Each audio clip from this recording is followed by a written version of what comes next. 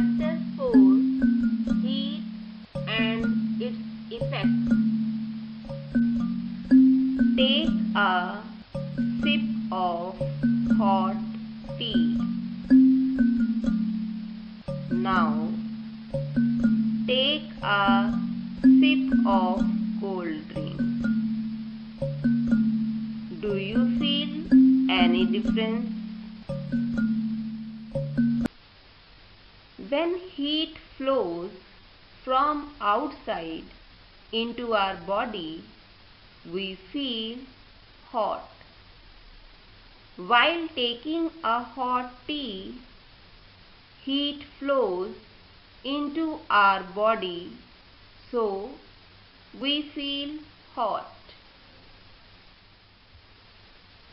When heat flows out of our body, we feel cold. Cold drink takes away heat from our body so we feel cold. Heat Heat is a form of energy which causes sensation of hotness or coldness.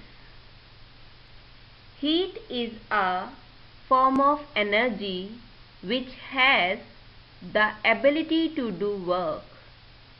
For example, the engine moves a car by converting heat energy into mechanical energy.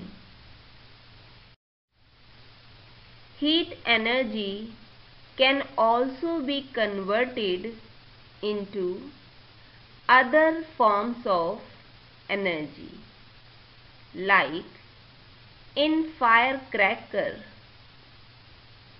it converts heat energy into both light and sound energy.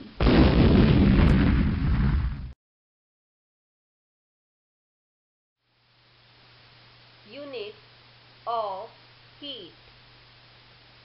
The commonly used units to measure heat are joule and calorie.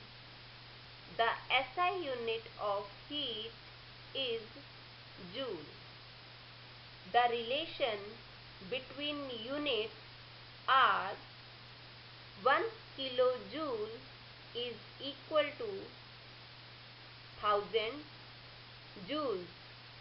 1 kilocalorie is equal to 1000 calories. 1 calorie is equal to 4.184 joules or you can say 1 calorie is approximate equal to 4.2 joules.